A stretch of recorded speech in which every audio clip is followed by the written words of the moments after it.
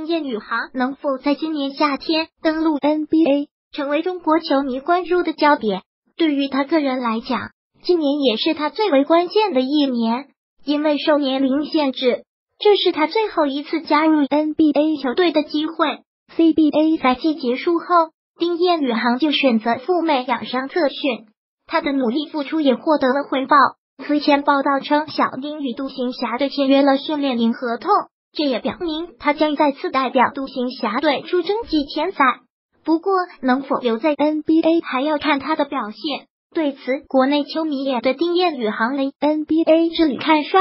而北京时间七月二十七日，著名媒体人苏群老师在自己公众号上透露，丁彦雨航和独行侠签订的是一份为期一年的 NBA 常规合同。苏群透露，自己就此事曾致电询问过独行侠总经理小尼尔森，而对方这样表示：“不是那样的，我们和丁签的是常规合同。”一年期部分保障，这是 NBA 可以签到最多二十人的常规合同。如果他最后能进入常规赛阵容，合同会转为全额保障。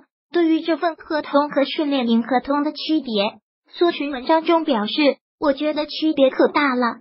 那种合同训练营合同只是让你来参加训练，给你训练费，而小丁签的就是一份最基本的 NBA 合同。从理论上说。”他已经是一个 NBA 球员，这对于球迷来讲无疑是最好的消息。而作为老东家，山东男篮也对丁彦雨航签约独行侠队做了通告。丁彦雨航目前签署的为 NBA 正式合同，该合同具有双向选择的权利。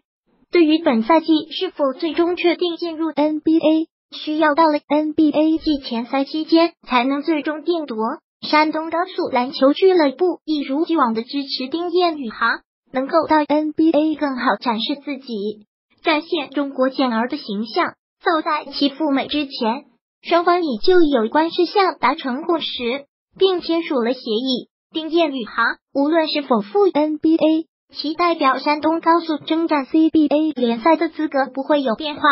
对于山东队来讲，喜忧参半。为了球队实力，不希望看到小丁出走；但为了中国篮球的发展，又坚定的支持小丁去追逐自己的 NBA 梦。